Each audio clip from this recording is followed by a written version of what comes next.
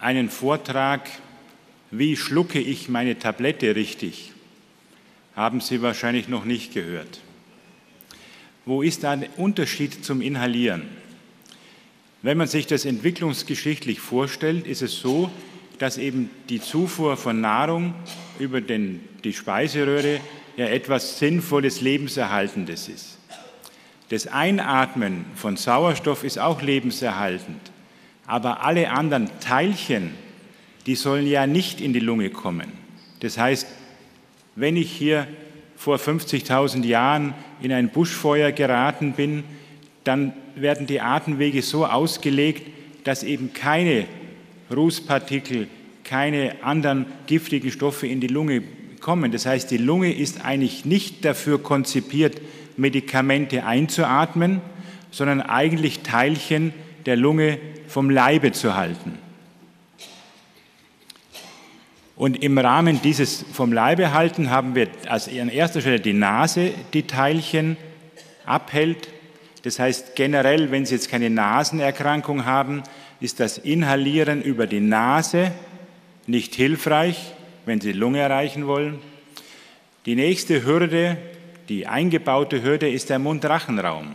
Und Sie sehen an dem Bild eben hier die Zunge und hier den Knick herunter in die Speiseröhre und die Luftröhre. Und auch wenn Sie ein Medikament korrekt inhalieren, es gibt da Unterschiede, bleiben Ihnen bis zu 80 Prozent, bis zu vier Fünftel der Teilchen im Mund-Rachenraum hängen. Das heißt, es ist auch beim Gesunden nicht einfach, überhaupt eine relevante Menge in die Atemwege zu bekommen. Und daher eben dieses Thema richtig inhalieren wirklich relevant. Der nächste Punkt ist, dass wenn Sie aus einem Medikament einen Wirkstoff inhalieren, dann ist das kein Wirkstoff mit einer präzise bemessenen Größe. Das ist ein Schrotschuss, der aus diesem System kommt. Und dieser Schrotschuss hat zur Folge, dass natürlich ganz unterschiedliche Regionen der, der Lunge unterschiedliche Blätter erreicht werden und auch die Größe der Munition unterschiedlich große Löcher hinterlässt. Wie schaffe ich es, diese große Streubreite einzuengen, so dass ich etwas zielgenauer möglichst viel Medikamente in die Atemwege bekomme? Eine wichtige Hilfe ist auf der einen Seite natürlich die Munitionskugeln möglichst klein und leicht zu halten, aber ein ganz wichtiger Punkt ist das Atemmanöver. Und das soll dieses Bild hier verdeutlichen. Sie sehen auf der, ich bin eben hier zu schräg mit dem Pointer, auf der linken Seite folgendes. Spontane Inhalation, das war jetzt die Inhalation über einen Vernebler. Und bei diesem Versuch sehen Sie, dass die Schwankung der Teilchen, die die Lunge erreichen, zwischen 40 und 80 Prozent variiert. Das heißt, Sie haben bei einer normalen Inhalation von Patient zu Patient und auch von Atemzug zu Atemzug eine große Schwankung. Sie bekommen manchmal nur einen Bruchteil, manchmal das Dreifache in die Atemwege. Wie kann ich diese Schwankungsbreite zumindest vermindern? Und da ist ein Schlüssel die Geschwindigkeit der Einatmung. Je langsamer Sie einatmen, umso höher wird die Lungendeposition und umso gleichmäßiger wird die. Sie haben hier einen Inhalationsfluss von 500 Milliliter pro Sekunde. Da kann man sich wieder nichts darunter vorstellen. Aber für ein normales Dosieraerosol werden Sie angehalten, ungefähr mit dieser Geschwindigkeit einzuatmen. Auch wenn Sie noch relativ langsam inhalieren, haben Sie noch eine Schwankung, aber Sie sind deutlich besser als bei dem unkontrollierten Manöver.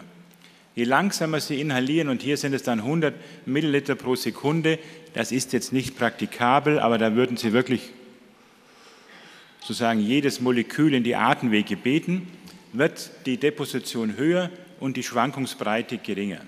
Das heißt, neben der Verteilung der Größchen in einem, der, der, der, der Verteilung der Größe der Teilchen in einem System spielt das Atemmanöver eine ganz große Rolle, um möglichst viel in die Atemwege zu bekommen. Das heißt, in der Summe Partikelgröße, Atemfluss und die Morphologie der Atemwege. Das ist ein Problem, das manchmal unterschätzt wird. Sie können hier, ist der Kehldeckel, hier geht es in die Luftröhre, Sie haben hier die Stimmbänder. Das ist jetzt eine Region des Kehlkopfs, die zur Inhalation einlädt. Da kann man sich vorstellen, dass Teilchen leicht in die Luftröhre und in die Atemwege gelangen. Wenn Sie nun diese Anatomie haben, das kann zum Beispiel ein Patient sein, der übergewichtig ist und eine Schlafapnoe hat, dann können Sie sich vorstellen, dass es hier natürlich sehr schwierig sein wird, auch bei einem korrekten Atemmanöver überhaupt Medikamente in die Atemwege zu bekommen. Das heißt, Sie haben eine Reihe von Einflussfaktoren, das muss man letztlich mit seinem Arzt auch besprechen. Das Maß der Dinge, das heißt, passt diese, passen diese Einflussfaktoren korrekt zusammen, ist natürlich die Wirkung. Und die Wirkung sollte aber mit möglichst wenig Nebenwirkungen erzielt werden. Das Problem ist ja, ich kann jetzt hergehen und wir haben ja auch schon über die Bedeutung der Cortisoninhalation gehört. Wenn ich jetzt weiß, dass da nur wenig Cortison in die Atemwege kommt, dann gehe ich eben her und erhöhe die Dosis im System. Aber das kann nicht das Ziel sein. Wenn Sie nämlich die Dosis erhöhen, um noch mit Mühe und Not eine Wirkung zu erreichen, werden Sie automatisch auch die Nebenwirkungsrate dramatisch erhöhen. Und das ist eben wirklich ein wichtiger Punkt bei der korrekten Inhalation, dass Sie eben möglichst viel Wirkung mit möglichst wenig Nebenwirkungen erzielen. Damit stellt sich die erste Frage beim Thema richtig inhalieren. Welche Erkrankung, das ist ja schon behandelt worden, der Arzt muss mit Ihnen besprechen, liegt eine COPD vor, liegt ein Asthma vor und ganz wichtig auch für die Beurteilung, welches Inhalationssystem in Frage kommt, ist der Schweregrad. Die nächste Frage, die Sie beantworten müssen, ist, welche Medikamente sind erforderlich? Also steht nicht an erster Stelle, sich das Inhalationssystem auszusuchen, sondern ich muss wissen, welches Medikament ist notwendig und dann kann ich sehen, welche Systeme zur Verfügung stehen. Dann wird die Sache auch etwas leichter. Wenn Sie jetzt zum Beispiel eine Kombination aus zwei bronchial erweiternden Medikamenten, Sie haben ja das schon gehört, die Begriffe Lama-Laba, wählen, haben Sie vier Inhalationssysteme zur Auswahl. Sie haben mit dem Breathaler mit dem Genuair und Ellipta drei Pulverinhalatoren und sie haben den Respimat, ein System, das dem Dosierosol ähnlich ist. Das heißt, es gibt für diese Lama-Laba-Kombination kein klassisches Dosierosol. Das heißt, wenn die Entscheidung getroffen ist Lama-Laba, dann stehen diese vier Systeme zur Diskussion. Ein anderes Beispiel, jetzt die neu auf den Markt gekommene Dreifachkombination, das heißt, Sie haben da zweimal Bronchialerweiterung und dann noch Cortison mit dabei. Da können Sie im Moment entscheiden zwischen einem Dosieraerosol oder zwischen einem Trockenpulver Ellipta, das heißt entweder Trelegy oder von der Firma Berlin, Berlin Chemie Elibrato. Das heißt, wenn Sie das Medikament ausgewählt haben, dann kommt eben die Frage, welches System ist für Sie nun das Richtige. Schemata sind meistens immer ein bisschen äh, unübersichtlich, aber die Kernfrage, nehmen wir das Beispiel jetzt bei dieser Trippeltherapie, ist jetzt da, kommt der Patient mit einem Dosierosol zurecht oder ist für ihn das Trockenpulver die richtige Variante? Und dann sind von Arzt und Ihnen zwei Fragen zu beantworten, nämlich können Sie bei Verwendung eines Dosieraerosols die Koordination zwischen Sprühstoßauslösung und Einatmung bewerkstelligen und können Sie im anderen Fall den notwendigen Einatemfluss, den Sie jetzt für, einen, für ein Pulversystem haben, äh, bewältigen. Da werde ich nochmal gleich darauf ankommen. Das heißt, die Fragen sind, eben ausreichende Koordination und wie kräftig ist das Einatmenmanöver. Wenn Sie gut koordinieren können, ein kräftiges Einatmenmanöver haben, das heißt die Schweregrad der Obstruktion nicht so hoch ist, dann kommen für Sie im Prinzip hier links alle Systeme ähm, in Frage. In dem Moment, wo die Koordination ähm, gut ist, aber das Inspirationsmanöver eben zu niedrig ist, fallen eben dann die Trockenpulversysteme oder treten die Trockenpulversysteme in den Hintergrund. Und wenn Sie eben schlecht koordinieren können und Sie können ausreichend inspirieren, dann haben Sie natürlich auch die Möglichkeit hier mit den Trockenpulvern, aber im Prinzip auch mit den anderen Systemen zu inhalieren. Ein wichtiger Punkt, der jetzt in diesem Schema nicht so deutlich wird, neben der Koordination und dem Inspirationsfluss, ist natürlich wie soll man das formulieren? Das Alter. Das heißt, wenn Sie zum Beispiel eine Arthrose haben, eine rheumatoide Arthritis, Sie haben Deformierungen der Finger, dann werden Sie sich schwer tun, ein Dossieraerosol auszulösen. Sie werden aber auch manuelle Schwierigkeiten haben, manchmal mit einem Trockenpulversystem. Da kann es sein, dass dann der Vernebler die einzige Möglichkeit ist, mit der sie es schaffen, Medikamente eben einzuatmen. Das heißt, die manuellen Fähigkeiten spielen eine große Rolle. Das sind die linken Hände. Und die rechten Hände sollen die Altersmedizin, die Geriatrie oder anders äh, ausgedrückt die Gebrechlichkeit bedeuten. Das heißt, gerade Menschen, die eben dann betagt sind, die auch in einem Seniorenheim untergebracht werden, die haben auch eben nicht mehr die Fähigkeiten, eines dieser Systeme eben selber auszulösen. Auch hier kann dann der Vernebler die einzige Möglichkeit sein. Also diese Aspekte sind äh, unbedingt zu berücksichtigen. Damit die Frage ist ja, was können Sie besser machen? Äh, wir haben eben diese Gruppe der Dosieraerosole, wir haben den Respimat und ähm, das richtige Atemmanöver zeige ich gleich. Der Unterschied des Respimats zum normalen Dosierosol ist, dass beim Respimat der Nebel, das Aerosol, langsamer das System verlässt.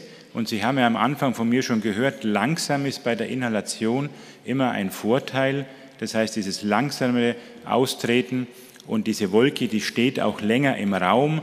Damit ist auch das Problem der Koordination nicht ganz so erheblich, sodass es eine sehr gute Alternative eben zum Dossier-Aerosol ist. Es sind eben nur nicht alle Medikamente darin verfügbar. Wenn Sie jetzt mit einem Dossieraerosol nicht zurechtkommen, weil Sie nicht gut koordinieren können, aber gleichzeitig ähm, auch die, die Einatmenkraft nicht ausreichend ist bei einer schweren COPD, welche Möglichkeiten geben, ergeben sich dann? Und hier ist die Möglichkeit, jetzt bin ich eins zu weit, also nochmal die korrekte Inhalationstechnik bei Dossieraerosolen, das gilt auch für den Respimat, eben immer ganz wichtig, vor der Inhalation tief ausatmen. Das ist ja letztlich das, was Sie auch aus der Atemtherapie mitnehmen. Sie können nur dann tief einatmen, wenn Sie überhaupt erstmal vorher tief Luft ausgeatmet haben. Nur dann steht Ihnen ein ausreichendes Volumen zur Verfügung, dass Medikamente die Atemwege nicht nur erreichen, sondern auch Zeit haben, mit der Wand der Bronchien in Verbindung zu kommen und da eben auch die Wirkung auszulösen. Deswegen ist es tief ausatmen vor der Inhalation so einfach dahingesagt, aber eine ganz wesentliche Maßnahme, um die Lungendeposition zu erhöhen. Das Mundstück zwischen die Zähne nehmen und mit den Lippen fest umschließen und dann eben dieses Thema mit Beginn der Inhalation, also erst beginnen einzuatmen und dann den Sprühstoß auszulösen und eben langsam und tief einatmen und wenn Sie Cortison inhalieren, insbesondere dann eben nochmal fünf Sekunden die Luft anhalten. Wenn es eben mit der Koordination nicht gut klappt, ist eben eine Alternative die sogenannten Hohlraumsysteme oder Spacer. Die werden natürlich von manchen Patienten als unhandlich äh, be äh, bewertet, aber wenn Sie ein Dossierosol weiternehmen sollten und es mit den Pulvern nicht klappt, dann sind die Spacer eine extrem wichtige Hilfe, um die Therapie zu optimieren.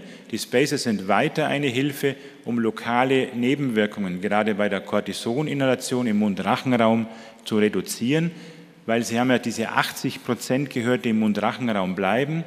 Und wenn Sie eben einen Spacer verwenden, dann bleiben diese 80 Prozent in diesem Spacer. Und es kommen nur kleine Teilchen aus dem Spacer, die Sie langsam einatmen und dann auch die Lunge erreichen. Bei diesen Spacern stellt sich immer die Frage, äh, wie wirksam sind sie? Und das ist eine aktuelle Arbeit, bei dem ich zwei Pulver hier in Blau und Türkis und hier in diesem Orange das Dosierosol mit dem Spacer. Und Sie sehen eben nochmal hier Deposition Mund-Rachenraum.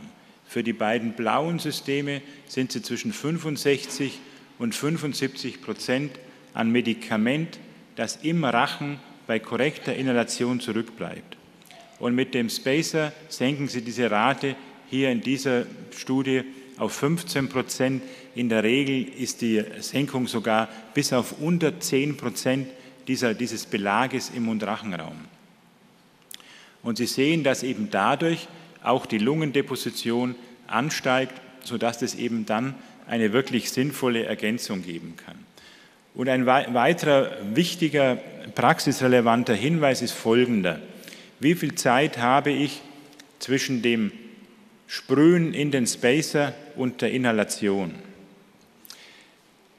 In den Beipackzetteln steht, dass Sie quasi den Spacer in den Mund nehmen, auslösen und sofort inhalieren.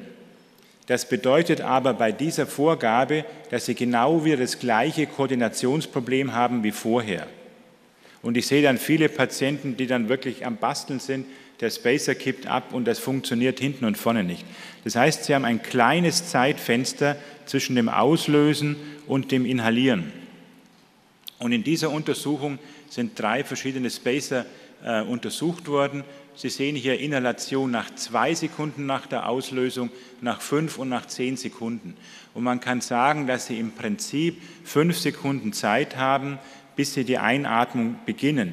Das heißt, meine Empfehlung ist, wenn Sie einen Spacer verwenden, dann sprühen Sie in den Spacer, atmen aus und da brauchen Sie vielleicht drei Sekunden dazu, nachdem Sie ausgeatmet haben, atmen Sie langsam über den Spacer ein. Auch in den hervorragenden Videos der Atemwegsliga ist das anders erklärt. Aber das ist jetzt mein persönlicher Rat. Sie haben fünf Sekunden Zeit und diese fünf Sekunden, die dienen eben genau dazu, dieses Problem der Koordination zu mindern. Und zum Thema Inhalation. Sie haben jetzt nicht alle geraucht, aber ich sage den Ex-Rauchern immer, das ist ja klar, das richtige Inhalationsmanöver ist das beim Rauchen der Zigarette, weil der hat ja versucht, möglichst viel Medikament in Anführungsstrichen in die Atemwege zu bringen. Und ich kenne jetzt keinen Raucher, der seine Zigarette geraucht hat, sondern sie, er wird es nicht bewusst vorher ausatmen, aber es ist ein langsames und tiefes Atemmanöver. Und das ist auch das Atemmanöver für den Respimat und für das Dosiaerosol. Jetzt haben wir mal abgearbeitet den Respimat und hier die Dosiererosole, aber wir haben natürlich eine große Zahl von Trockenpulversystemen. Die haben natürlich eine Entwicklung bekommen, weil es hieß, naja, Dosiererosol, Treibgas, äh, das ist eben umweltschädlich, ähm, das kann man vergessen, aber es hat die Entwicklung befördert und eben dieses Thema, es gibt viele Patienten, die mit den Dosiererasolen eben nicht gut koordinieren können. Damit haben sie es eine Riesenzahl. Zum Grundverständnis dieser Trockenpulversysteme. Dieses Pulver liegt verklumpt in den Systemen und kann nicht regulär so eingeatmet werden, dass die Teilchen klein genug sind, die Atemwege zu erreichen. Das heißt, deswegen, deswegen dieser Einatmenfluss über einen gewissen Grad. Durch die Einatmung beschleunigen sie die Teilchen. In diesen Systemen sind dann äh, Wände, Prallwände eingebaut, auf die prallen dann die großen Teilchen und werden zerkleinert in lungengängige Anteile. Das heißt, dieser Prozess ist eben extrem wichtig, um eine Wirkung zu erreichen. Man hat aus unterschiedlichen Gründen natürlich diesem großen Ballen immer auch etwas äh, Zucker beigemischt, um eine Geschmacksempfindung auch zu hervorzurufen. Nur wenn Sie im Mund Zucker spüren, dann ist das kein Signal einer adäquaten Inhalation, weil Sie wollen ja das Medikament nicht im Mundrachenraum haben, Sie wollen es in der Lunge haben. Also diese Geschichte, Zuckergeschmack wunderbar inhaliert, kann nicht stimmen. Aber wichtig ist nochmal eben dieses Bild für das Verständnis. Und damit ist eben im Unterschied zu den Dossieraerosolen das Atemmanöver nun, dass sie eben sehr schnell einatmen müssen, schnell und tief. Und Sie müssen auch das Flussmaximum sehr früh in der Einatmung erreichen. Sie müssen wirklich inhalieren. Wenn Sie langsam beginnen und dann mit einer Zeitverzögerung erst diesen Spitzenfluss erreichen, dann bedeutet das, dass Sie mit dem langsamen Atemzug das große Pulver aus dem System herausgeholt haben. Und wenn Sie dann versuchen zu beschleunigen, dann ist kein Pulver mehr da. Also heißt, es ist wichtig, schnell zu ziehen, also fest zu ziehen und schnell zu ziehen. Jetzt habe ich Ihnen erklärt, dass für die Lungendeposition immer dieses langsame Atemmanöver wichtig ist. Das ist schon so, dass durch diese Prallplatten in den Pulvern dann der At die Atemluft am Mund dann wieder langsamer wird. Dann wird das auch langsamer. Aber es ist eben mit einer anderen Anstrengung verbunden. Wenn der Patient es kann, ist es in Ordnung. Wenn nicht, dann ist es eben nicht das richtige Gerät. Vernebler, er hat schon ange angekündigt, ist natürlich eine Domäne für Kinder und für betagte Patienten, die aufgrund von manuellen, aber auch geistigen äh, Möglichkeiten mit den konventionellen Systemen nicht umgehen können. Sie können natürlich bis auf Ausnahmen Antibiotika nur mit einem Vernebler inhalieren und was eben vergessen wird und was mir am Herzen liegt, man kann die Vernebler auch mit Physiotherapiegeräten kombinieren, mit dem Cornet und mit dem PEP, um damit die Inhalation noch durch die Physiotherapie zu unterstützen. Also Vernebler haben weiter einen wichtigen Stellenwert. Es gibt so ein bisschen bei den Kollegen ein Lager, manche ähm, scheuen das wie der Teufel. Da ist immer die Sorge, dass das eine Infektionsquelle ist. Wenn Sie den alleine korrekt verwenden, auf die Hygienerichtlinien achten, ist das keine Infektquelle.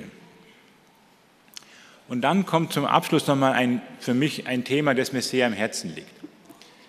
Es ist ja, es gibt jetzt Leitlinien, man weiß, was Sie eben inhalieren sollen und wenn es noch besser läuft, dann inhalieren Sie das sogar noch richtig. Und dann wissen wir aber aus vielen Untersuchungen, dass die Wahrscheinlichkeit, dass Sie nach einem Jahr noch die Dosis inhalieren, die Sie sollten, bei weniger als 25 Prozent liegt. Jetzt sind Sie vielleicht damit nicht betroffen, weil Sie sind ja hier eine Positivauswahl. Sie kümmern sich um Ihre Gesundheit, Sie sind bereit, an einem wunderbaren Tag hier nach Hattingen zu fahren und den Tag hier zu verbringen. Aber in der Gesamtheit gibt es sehr viele Menschen, die trotz ihrer Erkrankung ihre Medikation nicht nehmen. Und da gibt es eine Vielzahl von Gründen. Sie haben einmal unabsichtliche Gründe für die äh, vermangelnde Therapietreue. Sie haben zu viel Tabletten, das heißt zu viel Inhalationen. Patient ist verwirrt, vergesslich, ähm, das kann ich gut nachvollziehen. Das ist ungefähr ein Viertel. Und es gibt aber auch die bewusste, äh, das bewusste Nicht-Einhalten von Therapievorgaben, die Angst vor Nebenwirkungen. Therapiekosten, naja, das scheint irgendwie aus einem anderen Land zu sein, diese Studie. Kein Gefühl der dauerhaften Notwendigkeit. Und das ist zum Beispiel gerade bei Patienten mit Asthma ein wichtiger Punkt. Bei der COPD ist es weniger ausgeprägt. Aber beim Asthma gibt es viele Menschen, die sagen, heute will ich von diesem Asthma nichts mehr hören. Ich beschließe heute, ich habe kein Asthma mehr. Und dieses blöde Inhalationssystem, das mich meine, an meine Erkrankung äh, erinnert, weg damit. So ist es, ist auch akzeptabel. Man tut sich leichter, wenn man jetzt Luftnot hat, jeden Tag etwas regelmäßig zu nehmen. Aber bei Erkrankungen mit Schwankungen, mit beschwerdefreien Tagen ist es nachvollziehbar, dass eben hier auch bewusst dann die Krankheit verleugnet wird, die, Unbeweglich äh, die Unbequemlichkeit.